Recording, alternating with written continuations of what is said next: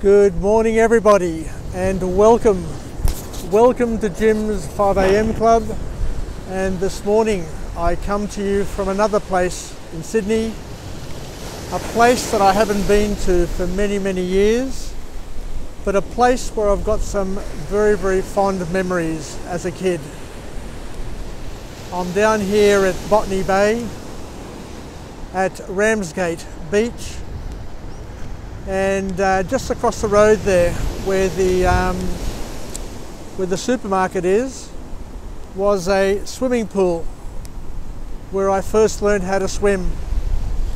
The Ramsgate pool uh, indoor uh, outdoor pool. It was I think it was salt water back then I remember. And many kids would come from schools from all over the area and learn how to swim and get uh, certificates in terms of um, how far they could swim. And it was part of the school program back in those days, growing up in, in, a, in Australia. It's, uh, it's an overcast day. Looks like we're going to have some rain, but uh, it's lovely. It's lovely down here beachside. And uh, I just want to have a chat to you about a topic which I've got uh, near and dear to my heart and it's a, a, sensitive topic. It's an interesting topic, but it's a beautiful topic. Um, and the question is, uh, can you love? Can you love more than one person? Um, so, in order to answer this, I had a wonderful experience a number of years ago. My mother died quite young.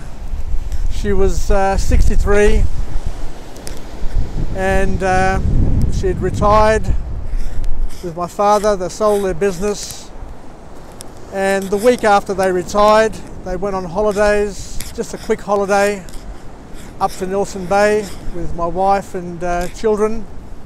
I stayed in Sydney to work. And while she was away, she, uh, she, she got a cough, went to the doctor, had it checked out, and the cough happened to be cancerous uh, caused by some cancerous growth with an unknown primary.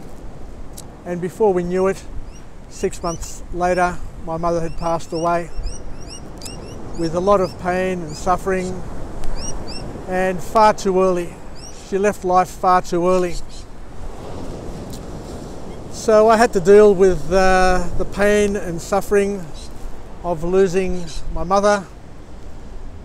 But um, many years later, many years later, I went to visit a, uh, a, friend, of, a friend of the family, um, Mr. Adhirios Karavelas, who was a, a partner of my parents, a business partner, where we had a business in Kingsgrove back in the 60s. And I grew up with William and uh, with William, I'm uh, Kubaros. I was the best man at their wedding and also uh, the godfather to their firstborn son, uh, Aki. And I remember chatting with, uh, with Adhiri, who has since passed away, God bless him. And he confided in me and he said to me, Dimitri, έχω αγαπήσει δύο γυναίκες στη ζωή μου. Which is quite remarkable to hear from a man of Greek extraction to open up and to talk about love like that because uh, men of those of that generation were quite closed and awkward when it came to talking about love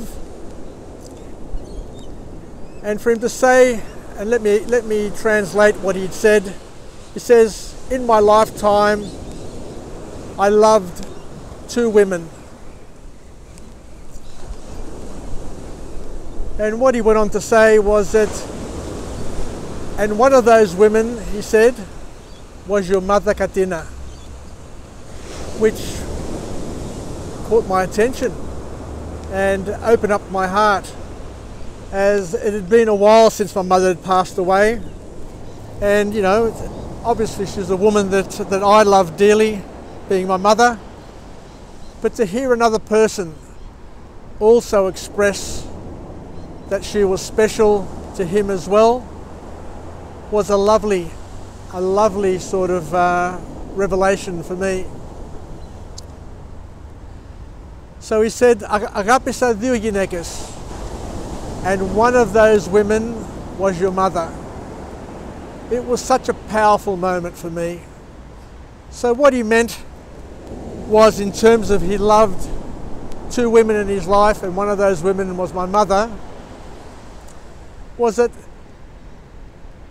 they had a special bond.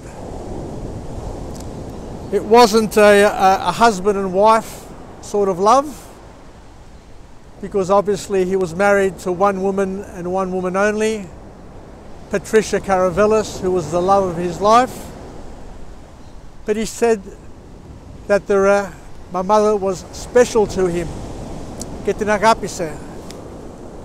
He had a special bond, a closeness, a closeness that he didn't have with many other women in his life.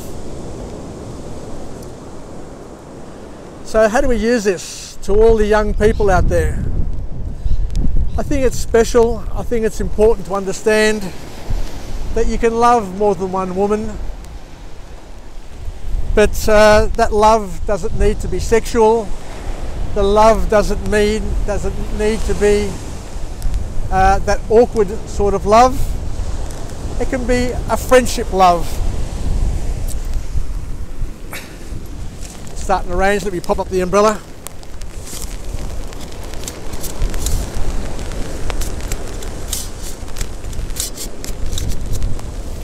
We go. Got the umbrella up so it's all comfortable again. So uh, let's walk and talk. So uh, yes, so young men, you can love more than one woman. You can love more than one person than just your, just your wife, just your sister, just your mother. You can love other people outside of those relationships and be comfortable that you're not doing the wrong thing. Uh, the Greeks have a number of words that describe love. You know, it's, it's just not the one word.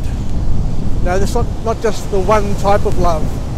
You can have other special loves in your life, loves that come through closeness, through um, confiding in people, in um, being able to have shared moments that, um, as I said, are moments of friendship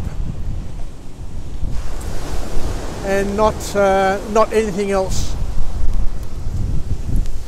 So uh, let me get out of here just in case I get uh, caught up in some waves. But uh, how do we use this? It's a, you can use it in many ways. The best way to use it is to know that you can be open. You can be open with people. You can open your heart to people and uh, it doesn't need to be your wife, doesn't need to be your sister, doesn't need to be a family member. You can have a connection with multiple people in your life and know that that connection is pure and that connection is not misconceived or awkward in any way. So I encourage you all to be like Arigiri Caravella, to be a person who has a big heart, an open heart, and can share love with, with people in his life and in his circle and be comfortable with, uh, with being close with people and without having the, any awkwardness in that closeness. Anyway, I think it's enough for me for today. Um, let's finish off with a positive affirmation. I'm alive, I am well, and I feel great. To all my friends and family, um, Let's stay connected, stay relevant, and practice love. You can be loving. You can be comforting. You can comfort people. You can love people. You can have an intimacy with people which is honourable, which is uh, which is honourable and which is pure. So I encourage you to examine and to explore and to, um, to be open, open to love. Uh, the Christian message is all about love. So to hear my, uh, my good friend, Adgiri Caravella, the friend of the family, a person that I grew up with, say that he loved my mother was very, very comforting indeed. So um, I think I'll leave it there for now. But thank you once again for joining me on this 5 a.m. club. It's a, it's a sensitive one. It's a, it's a tricky, tricky topic, tricky topic,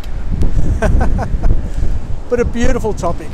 And as I said, I was very, very comforted, very, very comforted to hear that my mother was loved, she was cherished, and she was cared for by many people. So until next time, take care. We'll chat again, hopefully tomorrow morning once again at 5 a.m. on Jim's 5 a.m. Club. Take care. Sasagapao, I love you all. And uh, until next time, take care. I love you. Ciao. Sasagapao.